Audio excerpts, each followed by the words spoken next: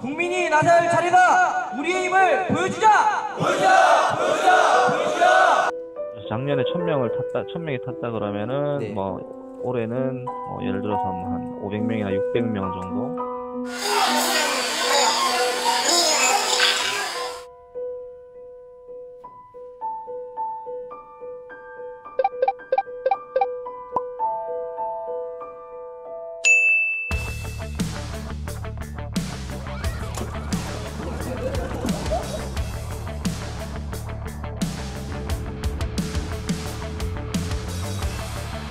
이제 우리 광동고 학생들은 국민들의 뜻에 힘입어 일본 제품 불매운동에 적극적으로 동참하려고 합니다.